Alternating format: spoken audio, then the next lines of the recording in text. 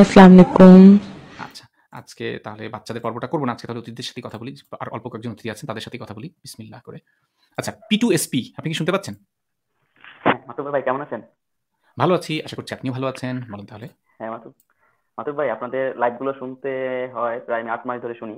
তো এখন পর্যন্ত যুক্ত কীভাবে হতে আমি জানি না তবে আজকে শুয়ে শুয়ে যখন লাইভটা দেখলাম তো ট্রাই করলাম। তো ট্রাই করার পর যুক্ত হতে পারলাম। তো আমারও কিছু বিশেষ কিছু বলার আছে। মানে আমি কি একটু বলতে পারি? সময় দেওয়া যাবে? হ্যাঁ নিশ্চয়ই নিশ্চয়ই। আমি হিন্দু রিলিজিয়নের একজন মানুষ তো মানে কথাগুলো বলতে গেলে যদিও অনেক বড় করে বলতে হবে কিন্তু আমি আজকে একটু শর্ট করেই বলব কারণ আপনাদের সময়ের অনেক দাম আমি জানি। যেটা বলতে চাইছি মানে আমি ছোটবেলায় প্রচণ্ড ধার্মিক ছিলাম প্রচণ্ড ভাবে ধার্মিক ছিলাম। তো আমার বাবাও মানে খুব এলাকার মধ্যে খুব একজন নাম করা ব্যক্তি ছিলেন ধর্ম বিষয়ে তাকে দুই চার এলাকায় সবাই চিনে জানেন। তো আচ্ছা সেই থেকে বাবার হাত ধরেই মোটামুটি ধর্মে আসা মানে বিভিন্ন জায়গায় নিয়ে যেতেন বিভিন্ন অনুষ্ঠানে বিভিন্ন ধরনের পাঠ গীতা পাঠ বলেন তারপর অনুষ্ঠানাদি বলেন বক্তৃতা বলেন। তো এটা করতাম ছোটবেলা থেকেই করতাম।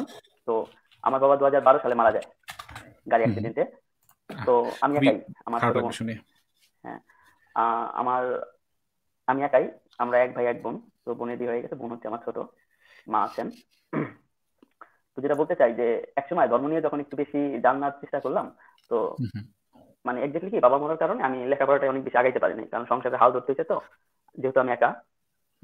এই জিনিসটাই ভয় ভাই মানে আসলে এই জিনিসটা খুবই দুঃখজনক যে আমাদের অভিভাবকরা যদি এরকম অসময়ে চলে যান তাহলে আসলেই আমাদের জন্য সেটা অনেক কষ্টের কারণ হয়ে দাঁড়ায়। কারণ আমাদের সোসাইটিটা না এটা থেকে আমাদেরকে প্রোটেক্ট করতে পারে না। আমরা না এমন দেশে বাস করি না যে দেশে আসলে যার পরিবারে কেউই উপার্জন ক্ষমতা নাই সেও খেতে খেয়ে পড়ে বাঁচতে পারবে এরকম সিস্টেম নাই আমাদের দেশে ভাই এটা খুবই দুঃখজনক। বাট পিটু পিটু ভাই ইটস ওকে আমি আপনি মানে লেখাপড়া করতে পারলেই যে আপনি সফল মানুষ হইতেন এমনটা না। বলেন তাহলে তারপরে চিন্তা করলাম কি?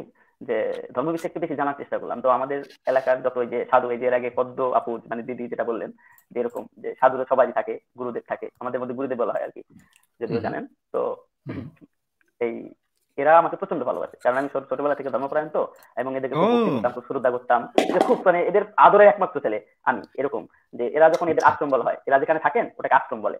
আপনি হয়তো জানেন। তো এরা আমাকে প্রচণ্ড আদর করে এবং আশ্রমে তাদের যে অন্য অন্য যেইগুলো আছে মানে শিষ্য যেগুলো আছে বা ছাত্র যেগুলো আছে বলতে পারেন এদেরকে আমাকে দিয়ে উপমা পর্যন্ত দেওয়া হতো। মানে আমাকে আচ্ছা। মানে কি বলে হ্যাঁ আমাকে দিয়ে বলাই তো যে দেখ ওর মতো একটা ছেলে ও এত ভালো হ্যান ত্যান ওইভাবে পালন করে এত কিছু মানে আপনাকে ধার্মিক হিসেবে ভালোবাসে সবাই। হ্যাঁ মানে প্রচণ্ড প্রচণ্ড।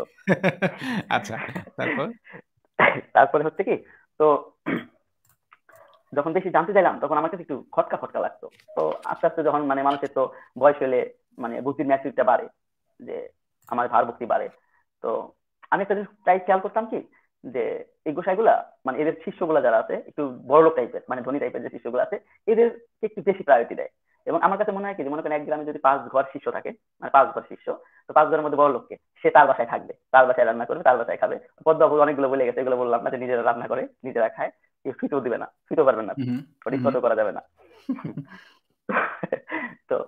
ধীরে ধীরে গেলে এটা আমার মধ্যে একটা খটকা লাগল ভাই। তারপরে যখন ধর্ম বইগুলো নিয়ে বিষয়ে রিসার্চ করলাম বা নিজে নিজে একটু পড়ার চেষ্টা চিন্তা ভাবনা করলাম তখন কি ধর্মের ভিতরে আমার কাছে তেমন একটা ভালো লাগতেছে না। আমার এগুলো একটু বানোয়াট বানোয়াট গল্প কাহিনী এগুলো মনে হওয়া শুরু করল।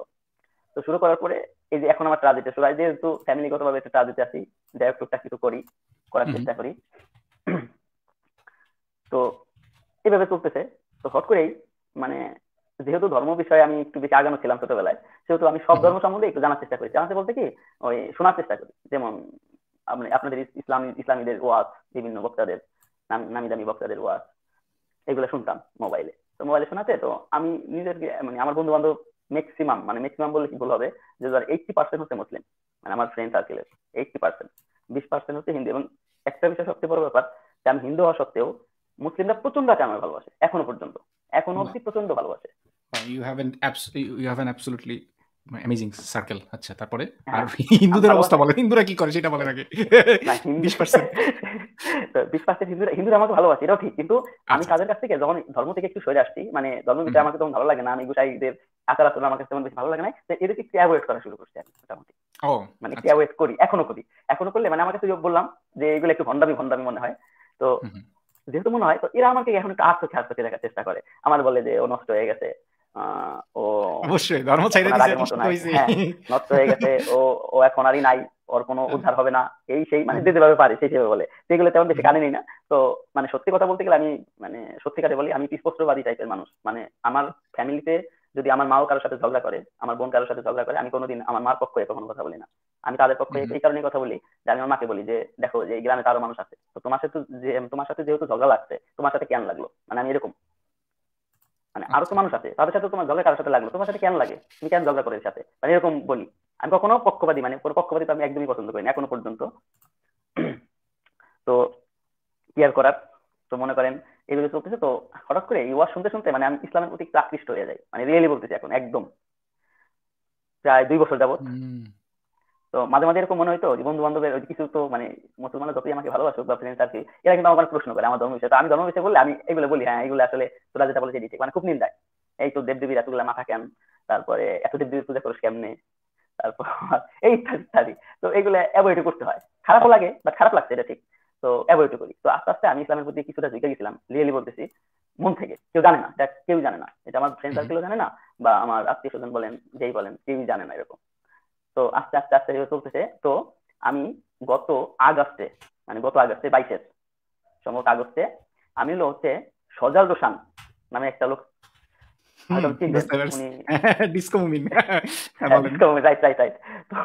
উনার ওই একটা ভিডিও ছিল ওই খ্রিস্টানরা হিন্দুরাও জান্নাতে যাবে এরকম টাইপের একটা ই ছিল আর কি।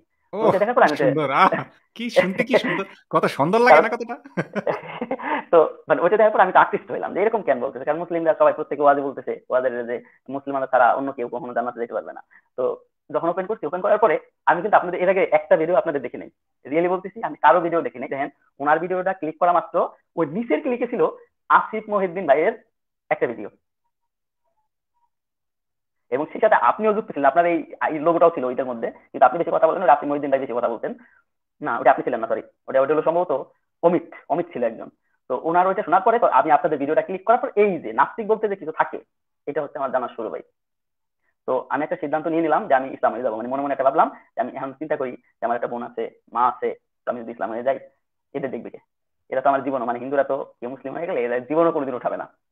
এটা আপনি নিশ্চিত থাকেন মানে এটা কখনই না এদেরকে একদম ত্যাগ করে দেওয়া হয়। ভাই কি শুনতেছেন? হ্যালো হ্যাঁ আমি শুনতেছি মিউট করে রেখে শুনতেছি আর কি। হ্যাঁ আচ্ছা আচ্ছা আচ্ছা। তো ওই যে আসিফ মহিউদ্দিন ভাইয়ের ওই ভিডিও তারপর তো আপনাদের সাথে একে একে সবাইয়ের কথা আমি মানে শুনতে থাকলাম। মানে এখন তো আপনাদের যতগুলো ভিডিও আছে মানে আমি মুখস্থ বলতে পারব এরকম একটা অবস্থা। মানে এত ভিডিও ছিল আমি সারাদিন আমার কানে হেডফোন থাকে বলতে হেডফোন আমি সারাদিন যেখানে যাই আপনাদের ভিডিও চালানো থাকে। যেখানে যাই মানে এরকম হলো অবস্থা। তো এখন মনে হচ্ছে জানেন যে আমি যদি আপনাদের মতো কিছু একটা করতে পারতাম মানে আমার কাছে কতটা ভালো লাগতো মানে সেটা বলার মতো না। মানে সেটা বলার মতো আমি যে কি একটা জিনিসের মধ্যে ছিলাম ভাই যে একটা মানুষ মুক্ত মনা হইলে যেটা ফিল এই ফিলটা কোনো মুমিন বা কোনো ধার্মিক ব্যক্তি এটা ফিল করতে পারবে না। আমি এটা চ্যালেঞ্জ করতে পারি ভাই। আমি এটা ছোট মানুষ হিসেবে চ্যালেঞ্জ করতে পারি যে হ্যাঁ। মুক্ত মনে হলে যে কতটা ফিল একটা থাকে নিজের মধ্যে যে কতটা কনফিডেন্স থাকে মানে এটা আমি বানাই বলছি না ভাই একদিন তো আমি নিজেকে দিয়ে বলতেছি যে এটা বুঝাইতে পারব না। আমি বুঝতে পারছি আমি হ্যাঁ আমি আমার বয়সের আমি এখন সুস্থ জীবন গ্রহণ করছি। এতদিন আমি অসুস্থ ছিলাম। আমি এটুকু বলতে পারি।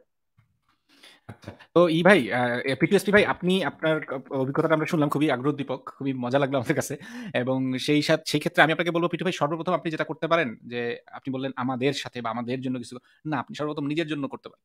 সেটা হচ্ছে সর্বপ্রথম কাজটা হচ্ছে সেফ থাকা সেফ থাকা মানে সাবধানে থাকা নিরাপদে থাকা।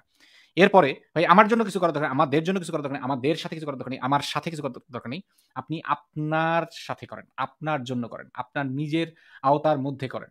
আমার কাছ থেকে শুনে কোনো কিছু করেন না এবং এই কারণে দেখবেন, খেয়াল করে আমি কোনোদিন আমার কোনো কিছু শেয়ার দিতে কই না, কোনোদিন আমার কোনো কিছু এরকম কই না যে, এই দেখেন, এখানে লিখে রাখছি, দেখেন, কিন্তু আমি কোনোদিন কই না কাউরে যে, আহ ভাতি যারা, আহো আহো।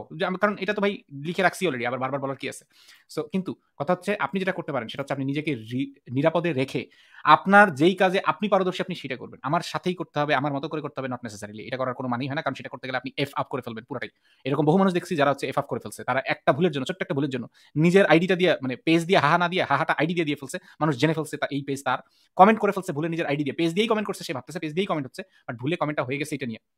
সো এই কারণে শেয়ার পারেনি। এটা, আর তাকে প্রোটেক্ট করতে পারেনি। পরে মামলা খাইছে মানে এরকম বহু হয়েছে সেই কারণে আমি কোনোদিন কাউকে এগুলো রিকমেন্ড করি না আনলেস তারা নিজে থেকে বুঝে শুনে কি করতেছে সেটা করে। তো, এইটাই আপনি করতে পারেন। তো আরেকটু বলা যাবে ভাই? কি বলেন।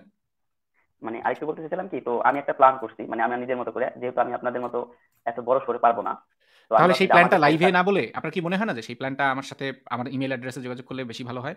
আপনার কি মনে হয়? আপনাকে যা জিজ্ঞেস আমার প্ল্যানটা আমি যেটা বলতেছি এটা প্ল্যানটা আর কি বলার মতো না মানে আমি আমার মতবাদগুলো বলতেছি এটা কোনো ক্ষতি হবে না। আপনার হবে না বা এটা শুনলে কেউ হবে না। তো কথাটা কীরকম? ধরেন আমার যে কাছের ফ্রেন্ড সার্কেলগুলো আছে আমার যে আত্মীয় স্বজনগুলো আছে আমি চাইতেছি আমি আবার একটু ধর্মে ডুব দিব। নাস্তিক হয়ে ধর্মে ডুব দিব। ধর্মে রূপ দিয়ে আমি এদের মধ্যে আবার একটু ঢুকি। কারণ এই বেড়াজাল এদের মধ্যে না ঢুকলে এদের বেড়াজাল থেকে বের করে আনা যাবে না ভাই। যদি আমার মতো আমি পাঁচজনকেও করতে পারি পাঁচজনের জীবনে সাকসেস হবে আমি এটুকু বলতে পারি। অলরেডি আমার সাথে চলাফেরা করে দুই তিনজন অলরেডি আমার সাথে সহমত প্রকাশে এরা ইচ্ছুক হয়ে গেছে। মানে জিনিসটা আমি বুঝলাম। তো সবাই যদি এভাবে আসে আমি মনে করি যে আমি একসময় হয়তো আপনাদের মধ্যে সারা দেশ জুড়ে পারব না কিন্তু আমি আমার এই আত্মীয় স্বজনদের মধ্যে কোন একটা কমিউনিটি করলে করতে পারি। এবং সেটা করতে চাই। আপনি সেই তোলেন? না আমি আমি শুধু বলব যে maybe we are talking about different goals here because it's it মানে clearly it's not the same but still আপনার যে গোল বা আপনার যে ইচ্ছা মানে আপনি আপনার মতো করে তো চলে চালিয়ে যেতেই পারেন সেটাই আপনাকে বলছি আমি একটু আগেও যে আপনার কাছে যেটা মনে হয় আপনি সেটাই করবেন সেটাই স্বাভাবিক। অ্যান্ড মানুষকে নিজের মতো করার হচ্ছে ইয়া বলতে এনিওয়ে মানে আপনার আপনি ভালো বুঝবেন যে আপনি কোন পদ্ধতিতে কি করবেন বুঝছেন পিটু ভাই? সো হ্যাঁ। বুঝতে পারছেন? সো এটাই হচ্ছে কথা। বাট আপনার জন্য শুভকামনা রইল। আচ্ছা ঠিক আছে ভাই আপনি ভালো থাকবেন। আপনাদের হ্যাঁ, আমি সেলুট ভাই আমি সেলুট দিচ্ছি ভাই আমি সেলুট আপনাদের। আপনারা একটা করতে একটা মানুষ সুস্থভাবে বাঁচতেছে এখন সে সুস্থ। পিটু ভাই সেলুটটা তাহলে আপনারই প্রাপ্য কারণ you are the first person to decide that about yourself আমরা কিন্তু আমার আমার ভাগ্যটা আমি একটু লাকি আমি ভাগ্যটা আমি ভাগ্যটা এতই ভালো বলব যে আমি আজকে প্রথম যুক্ত হয়েছে এবং আজকেই আমি আপনাকে পাইছি। আমার জীবনে প্রথম। এই লাইভে আসা আমার জীবনে আচ্ছা, হয়েছে। সম্ভবত নাই ভগবানের বদলতে আপনি আজকে নাই ভগবানের কৃপায় আজকে পেয়ে গেছেন। জি নাই ঠিক আছে হ্যাঁ পিটু ভাই তাহলে আজকে আমার কাছ থেকে বিদায় নেই হ্যাঁ? জি ভালো থাকবেন। জি শুভকামনা রইল ভাই আপনার জন্য। জি জি শুভরাত্রি। আপনার জন্য শুভকামনা রইল।